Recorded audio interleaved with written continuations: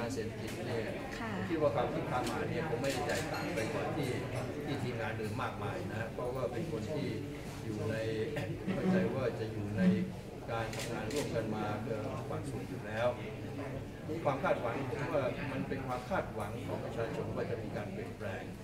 แต่ผมคิดว่าเราต้องเราต้องมีมีความเข้าใจว่าสภาวะของประเทศไทยเนี่ยนะ ที่เราบอกช้ำมามากหลายปีเนี่ยจะให้ฟื้นทันทีทันใดเนี่ยมันคงไม่ใช่เรื่องง่าย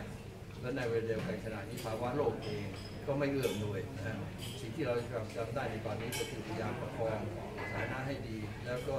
ถ้าเป็นไปได้เนี่ยหาทางให้เงินที่เข้าสู่ถึงคนที่อยู่ในรากหญ้าเนี่ยได้มากขึ้นและรวดเร็วขึ้น เพื่อที่ว่าความเดือดร้อนเนี่ยจะได้บรรเทาลง